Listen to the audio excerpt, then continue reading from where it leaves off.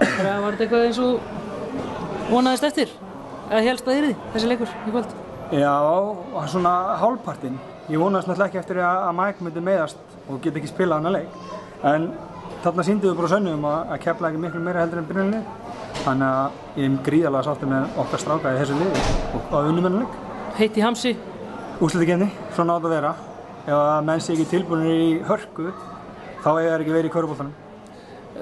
Vafasamt atvik s- segja sumur þegar hann eh, veður í þig eða veður í þig ekki. Var þetta dífa eins og það kallað? Var þetta dífa? Þetta var náttúrulega ekki dífa, en hann slær til mín og sló í mig og menn bara dæma fyrir sig sjálfan. En ef að ég sé floppari, þá skaltu líka að kíkja á leikmannum með 12 í stjörnunni að þó hann sé lítill og umur, þá lætur hann sig alltaf þetta. Þannig að menn með að kalla hvað sem þetta, hvað sem þetta var.